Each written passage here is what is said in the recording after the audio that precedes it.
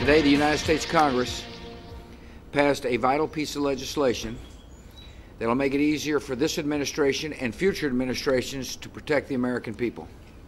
15 months of heated debate in Congress came to an end on Thursday when the Foreign Intelligence Security Act, or FISA, was signed into law by President Bush.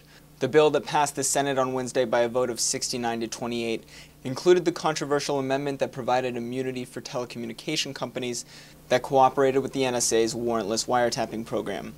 The FISA debate was especially bitter for Democrats, who were split on the issue. A coalition led by Senators Feingold and Leahy spoke out strongly against the bill.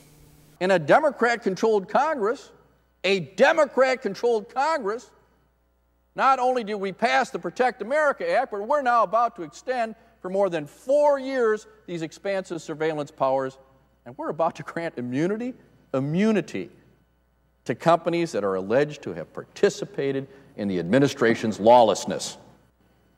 As it is now, the bill would have the effect of ensuring that this administration is never called to answer for its actions, never held accountable in a court of law. I do not support a result that says the President of the United States, whoever he is, is above the law, and therefore I don't support the bill unless it is amended. The FISA bill has been heralded as a triumph for the Bush administration and a serious loss for the Democratic Party especially Senator Obama, who in January, during the full swing of the Democratic primary, vowed to filibuster any bill that included retroactive immunity for telecommunication companies.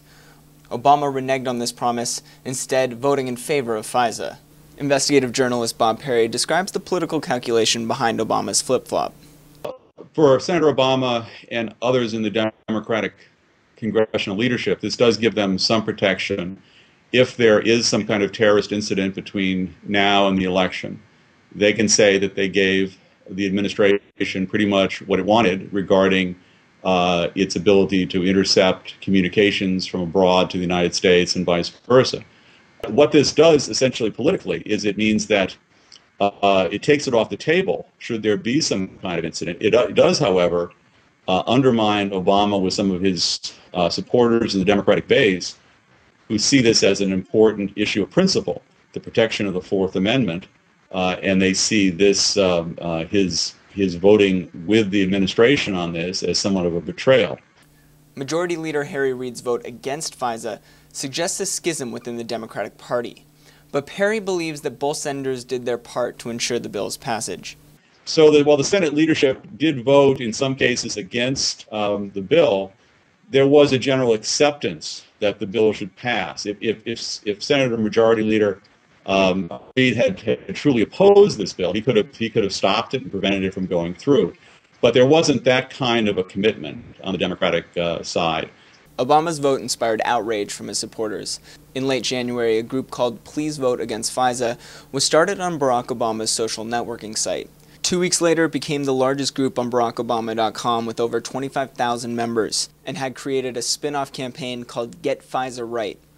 On July 3rd, Obama addressed the outrage within his own ranks in an open letter posted on his website and on the Huffington Post, saying, This was not an easy call for me. I know that the FISA bill that passed the House is far from perfect. I wouldn't have drafted the legislation like this, and it does not resolve all the concerns that we have about President Bush's abuse of executive power. He goes on to say the exclusivity provision makes it clear to any president or telecommunications company that no law supersedes the authority of the FISA court. Michael Ratner from the Center for Constitutional Rights takes issue with hiding behind the exclusivity provision. Some of the Democrats and others who have supported this bill or say it's the best we can do have wrapped themselves in the so-called oversight provisions of the bill, which may be slightly better than the earlier bill.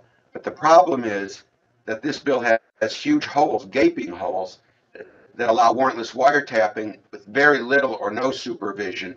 And, and that takes away really the efficacy or usefulness of any of the so-called oversight provisions. So for example, I can give you a couple of those. One is it allows seven-day emergency wiretapping without any kind of warrant, and that, emergency wiretapping continues when the U.S. government goes into the secret court and continues while appeals are pending and everything else in the secret court. So literally, you can be wiretapping American citizens for months, if not longer, without any kind of a warrant. Obama also emphasized his support of an amendment that would have taken retroactive immunity out of the FISA bill. But with only 32 votes, the amendment failed to pass. In his open letter, Obama also defends his vote by vowing that once he's president, he will have his Attorney General, quote, conduct a comprehensive review of all our surveillance programs and to make further recommendations on any steps needed to preserve civil liberties and prevent executive branch abuse in the future. Ratner takes issue with this promise as well. I mean, we're talking about, you know, a fantasy here. The, the 40 cases that are pending are all civil cases because in the United States, uh, people can't bring criminal cases. We're not allowed to start a criminal case as you can in some countries in Europe. So all the civil cases are going to go are, are most likely going to go down. There is an argument you can make that this legislation is unconstitutional because what it does is it interferes with separation of powers in a court decision. But apart from that, what this legislation clearly does is wipe out civil cases uh, completely. As to criminal cases, criminal cases can only be carried out by the prosecutor, by the United States attorney.